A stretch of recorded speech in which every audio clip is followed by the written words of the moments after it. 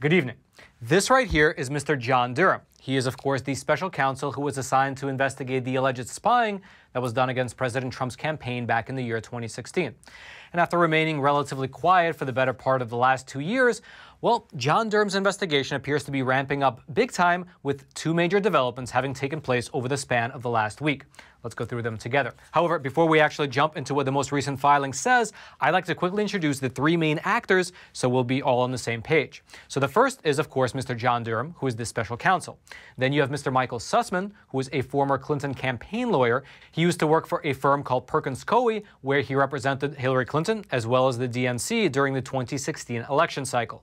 And he is currently facing trial for allegedly lying to the FBI.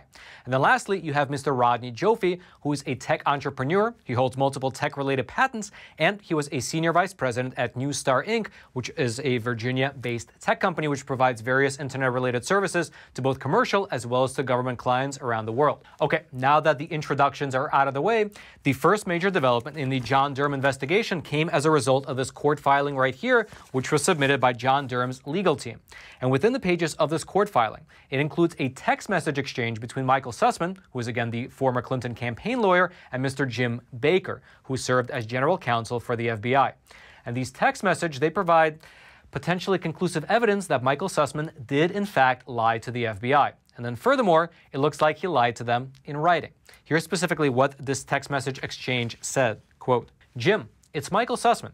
I have something time sensitive and sensitive I need to discuss. Do you have availability for a short meeting tomorrow? I'm coming on my own, not on behalf of a client or company. Want to help the Bureau. Thanks. And then James Baker responded, Okay, I will find a time. What might work for you? To which Sussman replied, Anytime but lunchtime. You name it. And so you might be asking yourself, why is this text thread so important? And the answer is frankly rather simple. These text messages, they show that Michael Sussman claimed that he was coming on his own, not on behalf of any client or company, even though, according to the prosecution, he was actually being directed to deliver this information by Rodney Joffe, the tech executive, and he was actually billing the Clinton campaign for his work. This lawyer was billing the Clinton campaign for this work. And the second reason that these text messages are so important is because previously, meaning several months ago, Mr. Sussman's lawyer, he denied that Mr. Sussman had made these claims to the FBI. Here was in fact the official statement from Mr. Sussman's lawyer prior to this text message revelation. Quote, the special counsel, meaning John Durham, has brought a false statement charge on the basis of a purported oral statement made over five years ago for which there is only a single witness, Mr. Baker, for which there is no recording, and for which there are no contemporaneous notes by anyone who was actually in the meeting. And so you see, the lawyers who were representing Michael Sussman, they were making the defense that, for one, John Durham was lying, secondly, that there were no written communications, and that thirdly, everything was exchanged orally with no other witnesses. However, as these text messages clearly provide a different picture, as within them, Mr. Michael Sussman is rather unambiguously stating that he wanted a meeting with the FBI and that he was representing only himself and not any client or company. And the reason that this small fact is so important, well, actually, here's how John Durham himself explains the importance of these text messages. Quote, Sussmann's allegedly false statement to Baker was, in fact, plainly material because it misled the FBI general counsel about, among other things, the critical fact that the defendant was disseminating highly explosive allegations about a then presidential candidate on behalf of two specific clients, one of which was the opposing presidential campaign. And so that was the first development worth mentioning. However, the second development is the real bombshell, because according to another set of court filings submitted by John Durham's team just three days ago, it turns out that the data which were submitted by Michael Sussman was actually user created. And so to start with, let me really set the stage for you. Several months after the meeting with the FBI, Mr. Michael Sussman began to pursue another meeting, this time with the CIA. And we know this because John Durham's latest filing, it includes a plethora of declassified CIA notes. And the first relevant note, it comes from January 31st of 2017, and that was when Mr. Michael Sussman first reached out to an employee within the CIA and discussed the possibility of setting up a meeting. Here's what that particular note says, quote, Sussmann said that he represents a client who does not want to be known, but who had some interesting information about the presence and activity of a unique Russian made phone around President Trump. The activity started in April 2016 when the president elect Trump was working out of the Trump Tower on its Wi Fi network and after his move to the White House. Now, this contact obviously proved rather successful because about a week later, on February the 9th, Michael Sussman did actually have a meeting with the CIA. And in that meeting, he provided the CIA with both documents as well as thumb drives that he claimed contained data on them related to potential Russian activities linked with Donald Trump. Here's specifically what a declassified memo said regarding this meeting with the CIA. Quote, Mr. Sussman gave a general description of the data he was providing on a thumb drive, noting that it was related to domain name system DNS information. His contacts had gathered information indicating that a Russian-made Yotaphone had been seen by them connecting to Wi-Fi from the Trump Tower in New York, as well as from a location in Michigan at the same time that then candidate Trump was believed to be at these locations.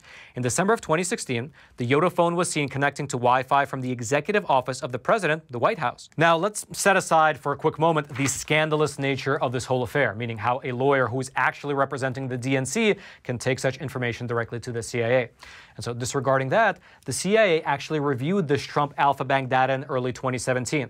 And their findings are extremely significant because after analyzing the documents for themselves, meaning the, all the documents and the thumb drives that they were handed, well, they concluded that the data was not technically plausible and actually user generated. Here's specifically what the declassified documents within these court filings say. Quote, Agency 2, meaning the CIA, concluded in early 2017 that the Russian Bank 1 data and Russian phone provider 1 data was not technically plausible, did not withstand technical scrutiny, contained gaps, conflicted with itself, and was user created and not machine or tool generated. And so this revelation, well, it obviously leads to many questions, such as who was the user that created this data? Was it Rodney Joffe, the tech executive? And who else might have been involved in its general creation?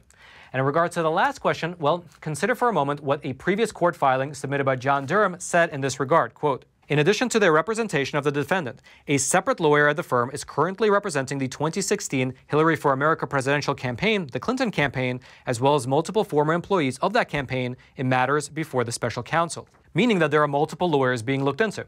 And then furthermore, within John Durham's latest filing, he stated that he provided immunity to a certain researcher in order to uncover some otherwise unavailable facts relating to the Alfa Bank project. Here's specifically what John Durham wrote, quote, The government therefore pursued researcher 2's immunity, and for your reference, researcher 2 has now been identified as Mr. David Dagon, in order to uncover otherwise unavailable facts underlying the opposition research project that Tech Executive 1, which is Rodney Joffe, and others carried out in advance of the the defendant's meeting with the FBI. And so the fact that Mr. David Dagon has been granted immunity is definitely worth noting, given the fact that John Durham also stated that the, in these documents that Rodney Joffe, the tech executive who started this whole Alfa Bank data in the first place, well, he remains a subject of the investigation. And so, in plain English, what all this amounts to is that the lawyer who is representing the DNC, as well as the Clinton campaign, he took information from Mr. Rodney Joffe, the tech executive, and he gave it to both the FBI as well as the CIA in order for them to investigate President Trump. However, this information was then later found to be technically implausible as well as user generated.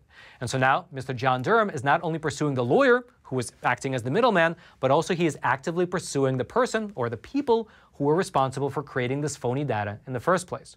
And while the lawyers for Mr. Michael Sussman argued that it's impossible to prosecute Mr. Rodney Joffe because of a five-year statute of limitations, well, Mr. John Durham disagrees, saying this, quote, Defense counsel is not and could not be aware of all the evidence that the government has collected and continues to collect or the possible violations of law it is investigating, meaning that the scope of this investigation appears to be getting bigger by the day. If you'd like to read more about this case, including all the documents that we discussed today, I'll throw all that into the description box below this video for you to check out. And also, I wanted to make mention that Mr. Sussman's trial is going to be starting on May 16th in federal court over in Washington, D.C. And I've been thinking about going there in person to sit in the courtroom in the audience and report on it live from Washington, D.C. as the whole thing plays itself out. Now, I'm a little bit on the fence since it would require a lot of traveling and a lot of work.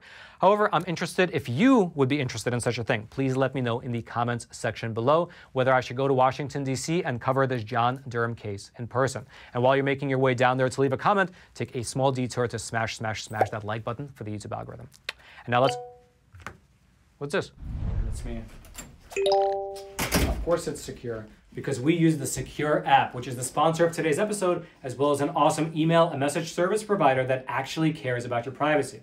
Now, listen, it's no big secret that our data is being mined and remined all the time. In fact, there was a recent study that was published in the year 2020, which found that 155 million Americans, likely including you and me, have suffered some form of data breach. And frankly, that's only what's publicly known. However, all those past problems with privacy issues and data mining, well, that can be an issue of the past because moving forward, you can use the Sekur app, which both your messages, your emails, and your phone calls can remain private. That's because they have their servers and their data centers located in Switzerland instead of in the US or China or Russia. And why does that matter? Because Switzerland has the strictest data privacy laws in the entire world, and they are not subject to the intrusive CLOUD Act. Now, what I love the most about the Sekur app is that they don't collect my data, they don't mine my data, they don't mine the data and phone numbers of my friends and family. Everything is private. And best of all, at least in my opinion, this does not work with your big tech email provider just because it is not secure. And so, and so check it out. You can head on over to sekur.com. And if you use promo code Roman, you can get 25% off. And frankly, their rates are not even that expensive. It only starts with $5 for the messenger and $10 for the email and messenger combo.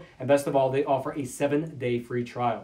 And now, since you've completed this episode of Facts Matter, I would highly recommend that you head on over to Epoch TV and check out an awesome episode of American Thought Leaders where Jan sat down and spoke with Dr. Aaron Kheriaty on the rise of the biomedical security state here in America. Here's a trailer for that episode. This welding of public health with digital technologies of surveillance and control and the police powers of the state allow for intrusions on our privacy, on our bodily autonomy that are unprecedented in history. Today, I sit down with psychiatrist and medical ethicist Dr. Aaron Kheriaty, Chief of Medical Ethics at the Unity Project and Fellow at the Ethics and Public Policy Center. He previously was a professor at UC Irvine and Director of UCI Health's Medical Ethics Program before he was fired for refusing vaccination. This biomedical security state apparatus that has been put in place will remain in place and will be redeployed for other purposes. We discuss egregious violations of medical ethics he's seen over the course of this pandemic and the deadly consequences of these policies.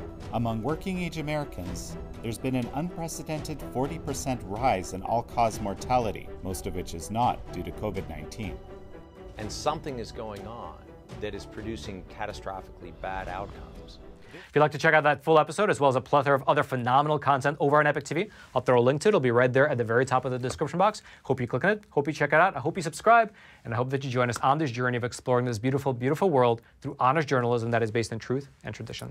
And then until next time, I'm your host, Roman from the Epoch Times. Stay informed and stay free.